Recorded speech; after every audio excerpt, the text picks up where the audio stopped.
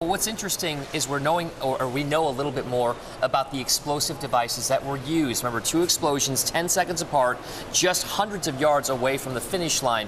The FBI released some footage, some photos of what this bomb, the remnants, actually looked like. And what you're seeing is this video of a mangled pressure cooker. Now, remember that from like the 60s and yes, 70s and 80s? Of course. Nobody, I mean, I don't use pressure cookers that much anymore, but this is uh, apparently something that's commonly talked about on the internet as ways to make bombs. Al Qaeda had even talked about making bombs using pressure cookers at, at one point in their existence. We do know that the, the, the bombs were packed with shrapnel, metal shards. Also, perhaps ball bearings were also used to maximize the amount of physical impact being done. And they were possibly placed in large duffel bags and or backpacks that were left. So we know a little bit more about the bombs. Because of this, that 12 block area of downtown Boston is still very much under guard. Mm -hmm. Crime scene investigators are there eva evaluating all the evidence. So if you're in Boston, you should still expect a heavy police presence, armored vehicles, motorcycle and patrol cars